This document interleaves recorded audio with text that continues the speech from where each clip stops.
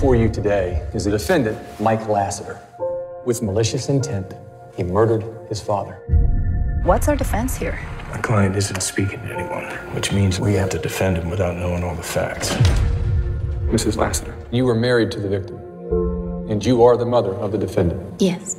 I took my shower, and when I came out, Mike said, I did it. You were the lead detective on this case. Yes, sir. In my professional opinion, it was open and shut. Our boy did it. What did Mike say?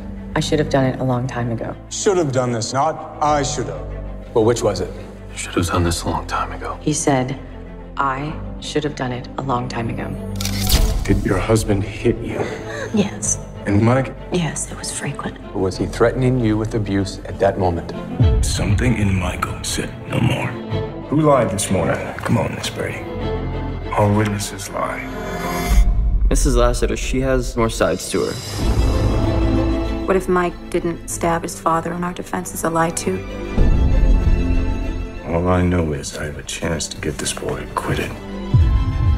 Well, I don't know what you think you know, but your theory's wrong. You said everybody lies, right? Doesn't everybody include Mike? I did it.